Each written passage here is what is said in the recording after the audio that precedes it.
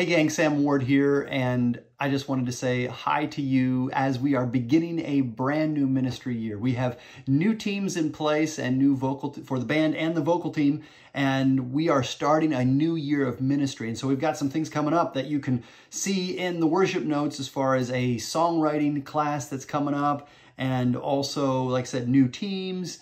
Um, but also warm-ups, vocal warm-ups that are happening for vocalists before each Saturday and Sunday services.